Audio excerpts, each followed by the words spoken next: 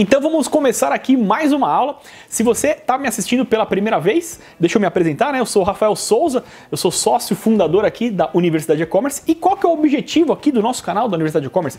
É, é para quem está começando uma loja virtual, para quem está começando a atuar no e-commerce, né? É, ou, ou, já está no início, ou ainda quer montar a sua própria loja, quer começar a atuar no e-commerce, a gente tem aulas que vão te ajudar uh, a iniciar da forma certa, uh, ou alavancar as vendas, caso você já esteja nesse processo e não está conseguindo ter resultado.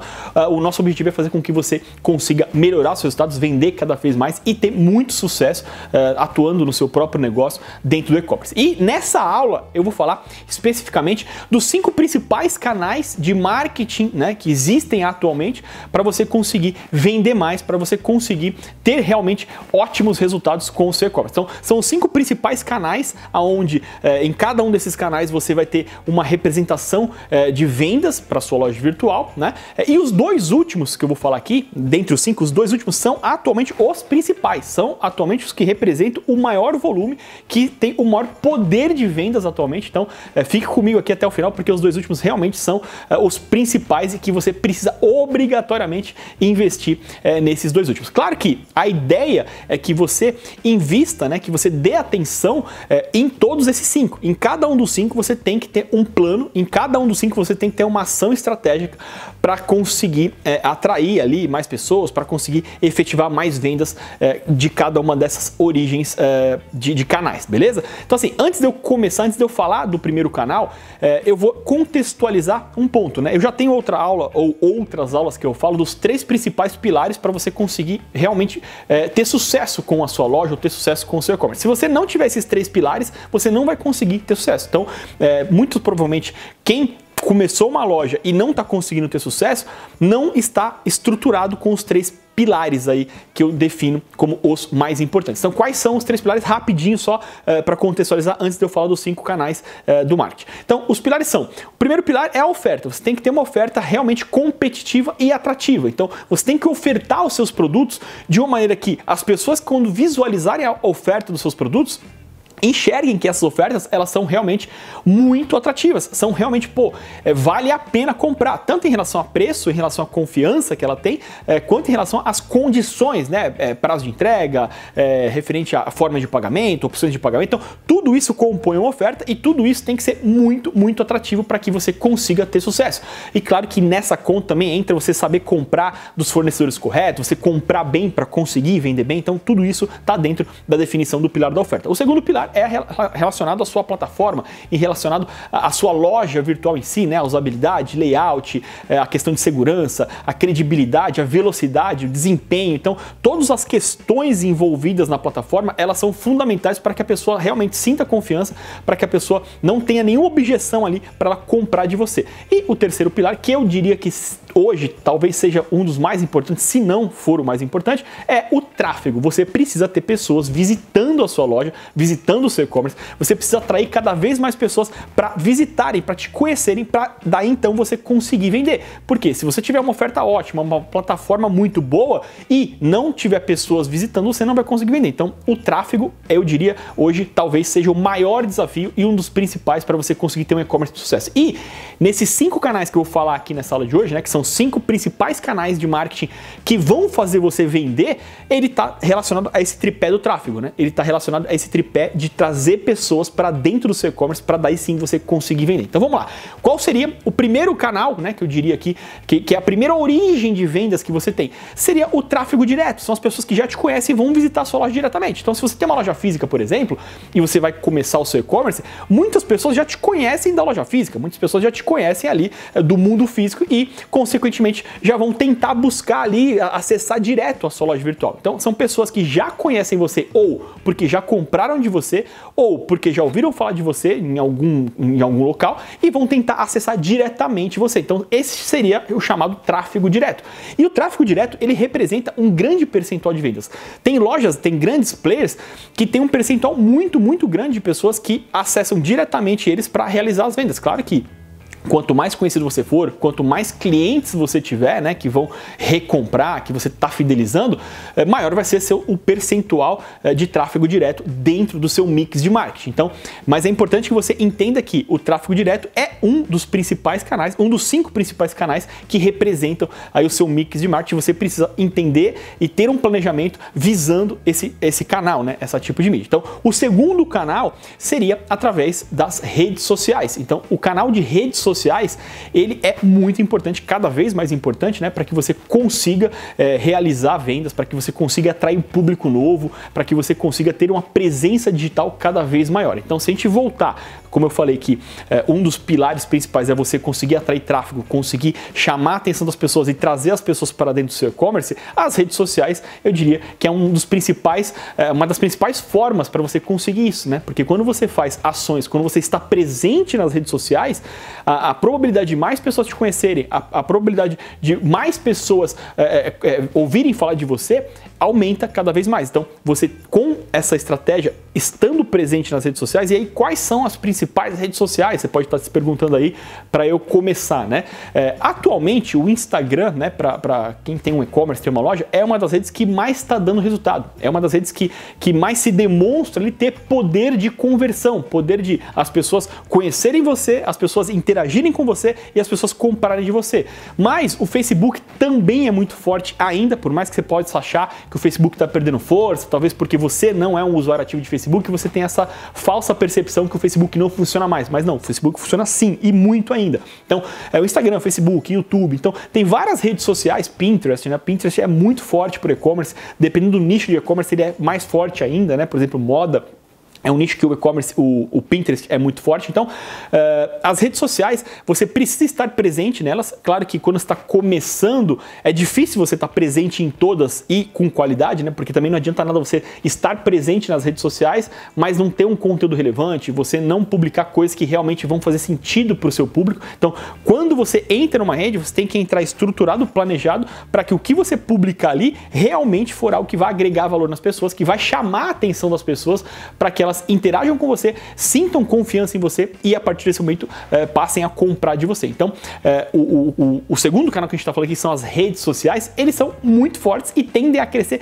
cada vez mais. Então, você tem que ter um plano estratégico na sua empresa para fazer ações nas redes sociais, né? Para você ter, estar presente nas redes sociais de uma maneira profissional, de uma maneira que quando as pessoas entrarem em um perfil seu numa rede social, olharem é, na, as suas publicações, olharem as suas postagens, a pessoa sinta confiança e sinta desejo de comprar. Porque eu vejo muita gente entrando nas redes sociais atualmente só para cumprir tabela, só falar, não, eu tenho que ter um perfil no Instagram. E aí a pessoa cria um perfil e começa a publicar coisas que não são boas, coisas que não têm qualidade, coisas que não vão agregar valor, coisas que não vão despertar o desejo né, da audiência dela. Então a primeira coisa que você tem que ter em mente é: tudo que eu for fazer numa rede social tem que despertar a atenção e o desejo das pessoas.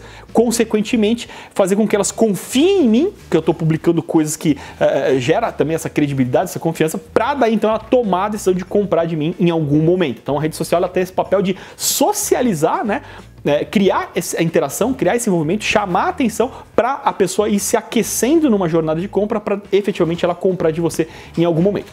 É, o terceiro canal que eu colocaria aqui de marketing são as buscas, né? As buscas ali é, que as pessoas fazem, é, nos, principalmente no Google, né? Que seria o principal canal de busca, mas hoje também tem buscas no YouTube. O YouTube hoje é o segundo maior canal de busca é, da internet. As pessoas buscam prioritariamente no Google, mas também buscam muito pelo YouTube. Então você ser encontrado pelas buscas que as pessoas fazem, Google, YouTube, Bing, no Bing também, né? Que é da Microsoft. Então todos os canais que te é, possibilitam é, ser encontrado por buscas, você tem que estar presente e aí você pode estar presente ali com conteúdo. Então, quanto mais conteúdo relevante você tiver sobre o assunto que você trata, sobre o mercado que você está inserido, é, mais as suas probabilidades de ser encontrado, né? Por exemplo, no Google, o Google vai considerar você relevante e vai te mostrar lá no topo das buscas se o que a pessoa digitou for algo que você tem conteúdo de qualidade, conteúdo relevante, o Google vai priorizar te mostrar lá em cima, né? Porque o Google quer mostrar para o usuário final dele o melhor conteúdo. Então, se o usuário digitou uma pesquisa lá e o seu conteúdo é um dos melhores para ser mostrado para aquele usuário, o Google vai te jogar lá em cima. Então, para você conseguir ter ranqueamento, ser bem posicionado, você tem que ter muito conteúdo de qualidade. E aí, conteúdo, quando a gente fala, é ter realmente é, vários conteúdos sobre alguns termos que você trabalha, alguns produtos que você trabalha, você ter vídeos demonstrativos, você ter descrições completas. Quanto mais conteúdo, quanto maior for o seu repertório de conteúdo dentro dos produtos, dentro dos termos que você atua, maior são as suas chances de ser bem ranqueado nas buscas do Google. E aí, se eu estou falando aqui que é, o, o, o, canal busca, né? O, a mídia busca é uma das principais para você conseguir vender, é uma das principais para você conseguir aumentar os seus resultados. Você tem que entender que para isso acontecer, você tem que investir muito em conteúdo, produção de conteúdo, estar cada vez mais presente para que o Google considere você relevante e te apresente lá. Claro que não é só o conteúdo, né? O conteúdo é um dos principais fatores, mas o Google vai levar em consideração também é, as partes técnicas da sua loja, né? Então você tem lá as técnicas técnicas de SEO, que é você otimizar a sua loja virtual para que o Google considere você, é, você esteja é, definido de acordo com as regras que o Google é, coloca como é, importantes. Então, é, você precisa ter isso tudo muito bem estruturado. Hoje, as principais plataformas de loja já têm é, essas questões de SEO na parte do, do, do, código da loja bem adaptadas, né? Então, isso já é algo que é uma premissa meio base de toda a plataforma. E aí você precisa também investir em conteúdo de qualidade para que você você junte essa parte técnica com a parte de conteúdo para o Google considerar você uma. Uh, mostrar você né, nas primeiras posições de busca ali, beleza? Bom, então aqui a gente falou dos três primeiros, né? Que é a busca, é, o tráfego direto, as pessoas que já te conhecem, a gente falou aqui das redes sociais e a gente falou aqui é, da, da, busca, né? De, das pessoas encontrarem você através da busca. E agora a gente vai entrar nos dois últimos que eu falei, que são os principais, uh, os principais canais de marketing hoje que você precisa investir. Então, de novo, você precisa investir em todos eles. Então, dentro do seu plano de marketing, né, dentro do seu mix de marketing, você precisa investir é, um percentual do seu esforço, da sua energia em cada uma dessas frentes, né? Em cada um desses canais você tem que ter uma atuação constante. Mas hoje em dia, esses dois últimos são os que mais representam. Então, assim. É Acho que deu uma travada aqui, mas acho que parece que voltou. É, então, assim, se você é, quiser conhecer um pouco mais também aqui do nosso curso, né? Você tem um link aqui embaixo, ao final aqui vou deixar o link na descrição.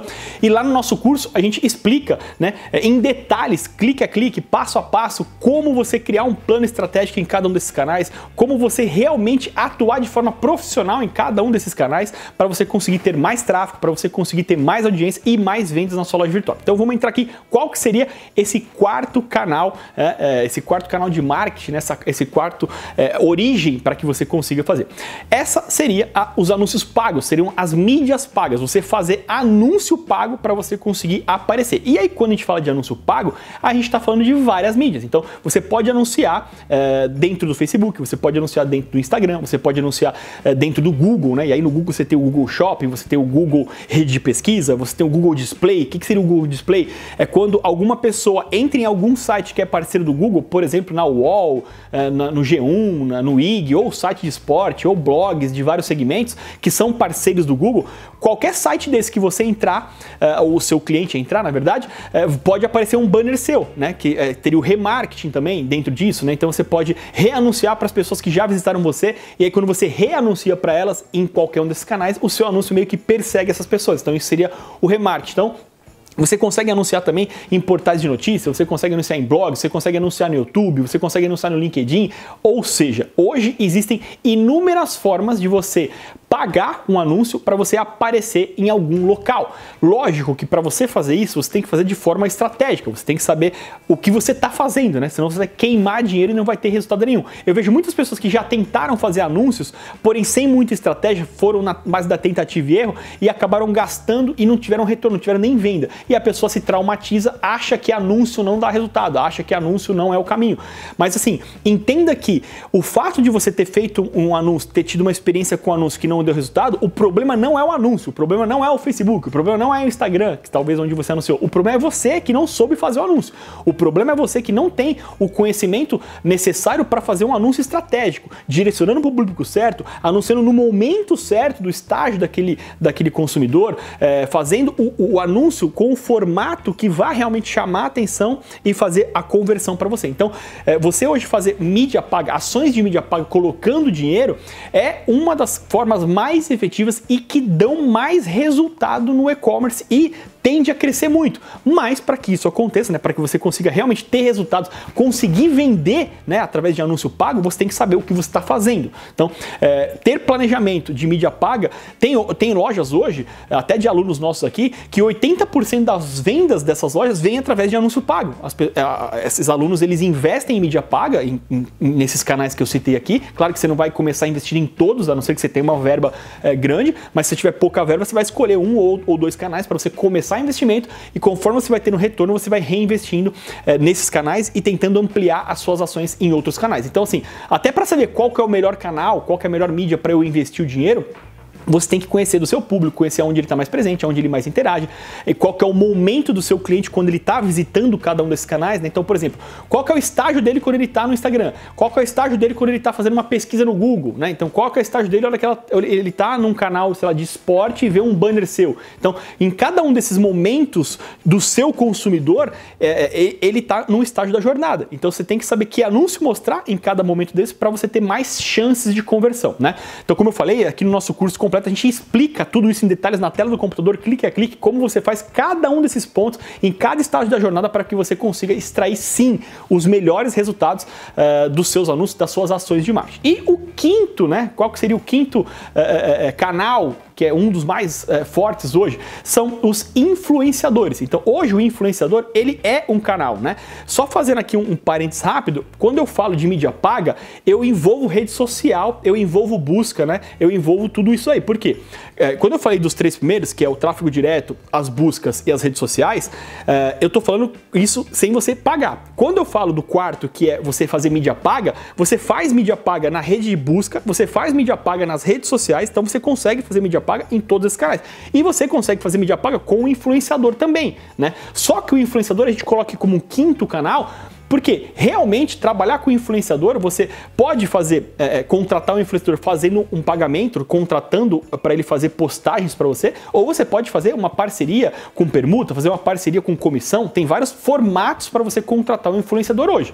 É, só que o retorno, quando você faz a, a escolha do, do, influenciador da forma correta, né? quando realmente o público que esse influenciador se comunica, o público que esse influenciador tem ali na rede dele, tiver uma aderência com o seu público, com o seu produto, com a sua marca, quanto mais isso for é, vinculado, mais chances de sucesso você tem. O que eu vejo às vezes é muita gente escolher o influenciador só pela métrica do ego, só porque o influenciador é grande, mas às vezes o, o que aquele influenciador fala, o que ele comunica, o comportamento daquele influenciador é, não condiz muito com o público que você quer atingir para sua marca, para o seu produto. Então, não é só o número de seguidores que aquele, que aquele influenciador tem que vai determinar se ele é bom ou não para sua marca. O que vai determinar é, é, muito mais a maneira como ele se posiciona, o público, a maneira como ele fala, a linguagem que ele usa, se tem relação com o que você quer atrair e, claro, que o público que ele fala, né, o público que ele está ali engajando com ele, se aquele público tem o perfil das pessoas que você quer que venha para seu e-commerce, que quer que compre de você. Então tudo isso você tem que escolher.